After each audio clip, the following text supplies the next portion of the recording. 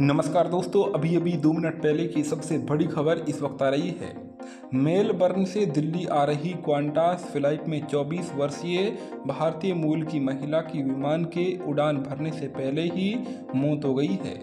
मनप्रीत कौर, जिसका सेफ़ बनने का सपना था, चार साल में पहली बार भारत में अपने परिवार से मिलने के लिए उत्साहित थी।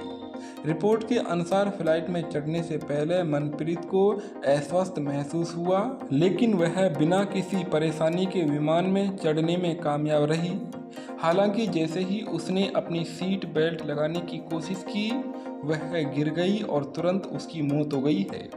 विमान अभी भी मेलबर्न में बोर्डिंग गेट पर था, जब केबिन क्रू और आपातकालीन सेवाएँ उसकी सहायता के लिए दौड़ी।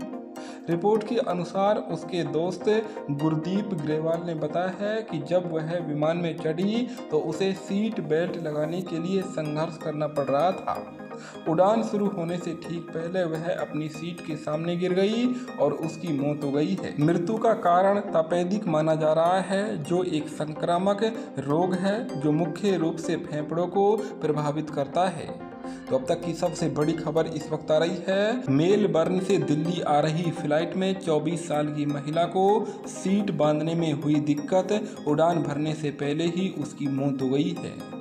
इस वक्त की सबसे बड़ी खबर सामने आ रही है। फ़िलहाल अधिकारी पूरे मामले की जाँच कर रहे हैं। कमेंट बॉक्स में ओम शांतिम